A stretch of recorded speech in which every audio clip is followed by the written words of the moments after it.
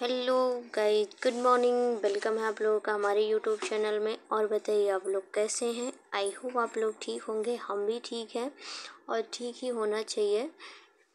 तो आज मुझे जानते हैं क्या काम है? मुझे घर धुलना है। अब पूरा घर धुलना है, क्योंकि मैं रोज़ साफ़ करती हूँ भाभी का रूम और बाकी रूम साफ़ करना है मुझे। आप लोग आइए वीडियो में देखिए।